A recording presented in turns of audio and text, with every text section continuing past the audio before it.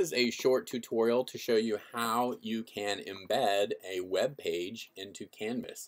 Um, so this comes in um, handy. There's a lot of content that is current and provides context to students um, that you can find on the internet um, that you might not be able to find in um, the textbook that you have for your class. So here, um, this is a great article that I would like to share, but if you look at the formatting here, it's going to be difficult. Um, so if I were to um, highlight everything as best I could, and then there's multiple images here in sort of like a scroll wheel, and copied it, and right click, and then move over into Canvas to my page here, uh, we get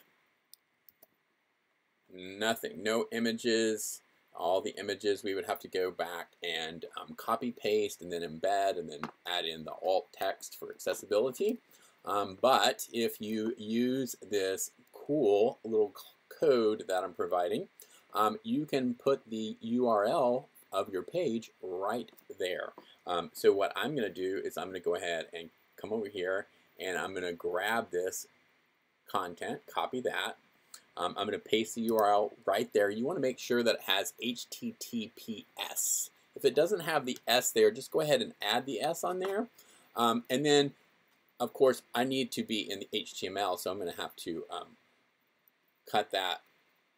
Um, so I guess I already was. And then I will go ahead and paste that. And when I come back into this editor um, and hit Save and Publish, you will see that that web page has now been embedded into our Canvas course. Um, so um, a great way to share online content without a lot of headaches.